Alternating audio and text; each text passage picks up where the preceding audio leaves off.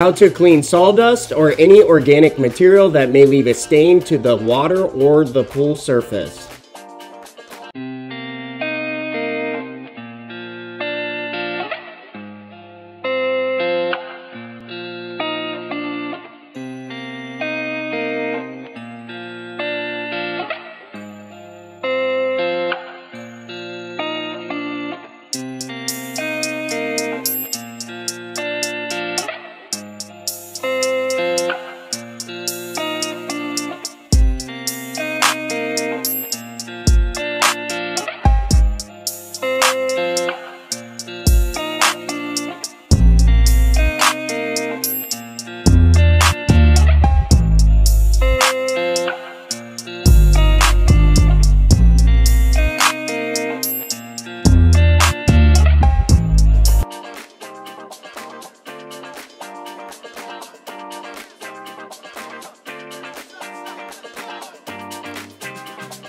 After cleaning the filter and running the pool through the night, this is the result.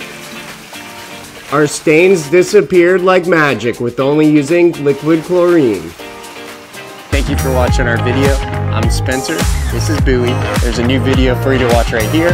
Please subscribe right here. If you have any questions, comment in the comment section below. Like the video.